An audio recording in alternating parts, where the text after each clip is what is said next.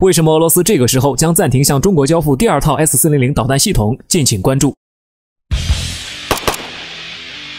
俄罗斯国防出口公司总经理亚历山大·米赫耶夫近期在媒体采访中表示，由于中国近期疫情严重，为配合中国政府和军队的救援，暂停向中国交付 S-400 防空导弹系统，相关的人员培训计划也已经全部停止。据俄媒报道，俄罗斯安泰集团已完成了这套 S-400 防空导弹系统的生产和测试，原计划2020年初交付中国。之前第一套系统于2018年7月完成后交付中国空军。中国空军接装的一个低空导弹营和军工技术人员花费了近一年的时间对其进行了测试，导弹系统表现良好，完全达到了中国军方的要求。虽然外且无法得知这项军火合同的全貌，但可以确定的是，中国空军订购了六套该系统，以装备中国的六个独立导弹营。这也是中国空军继引进一个团的苏三五后，对俄罗斯的最大的军火订单。由于优异的纸面参数性能，加上媒体的热情炒作，S 四零零系统已经成为了国际上炙手可热的防空导弹货架商品。其出口国家包括中国、印度、白俄罗斯等国，另外还有大量国家持币代购，如越南、亚美尼亚、哈萨克斯坦。S 四零零的出口甚至在不少场合成为国际政治局势的风向标，如土耳其的 S 四零零订单牵扯了多方利益和争斗。以往只有战斗机和潜艇这样的大舰才能在国家间有着如此之重的分量，这自然与 S 四零零的超群性能密不可分。